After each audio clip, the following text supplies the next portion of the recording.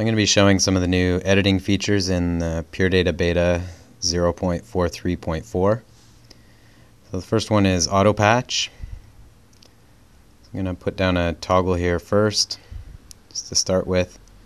Whatever your current selected object is going to automatically patch to it. So you can see this object I just put down. I'm going to put a metro there and it's automatically been connected and it's nice and lined up with our, with our toggle. Um, if we deselect it and put down an object, you can see it, even though we're in auto patch mode, it, it doesn't connect those two together. So if we select our metro, drop down another object, you can see it's connecting again. So I'm going to put a cup object here, a count up. Then I'm going to add a modulus, and we'll finish it off with a number box. So I'm going to turn off auto patch mode.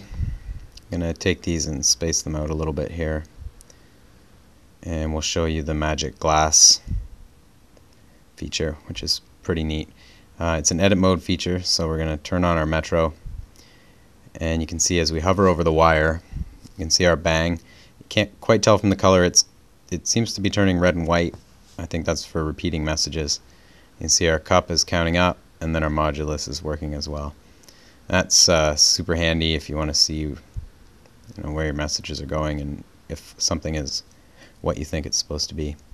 They've also got auto tips as a new feature, and you can see in the bottom left of the window, if you hover over any inlet or outlet, it'll give you a little bit of help about uh, what type of uh, info it wants in, what type of data source, and what you can expect from the outlet.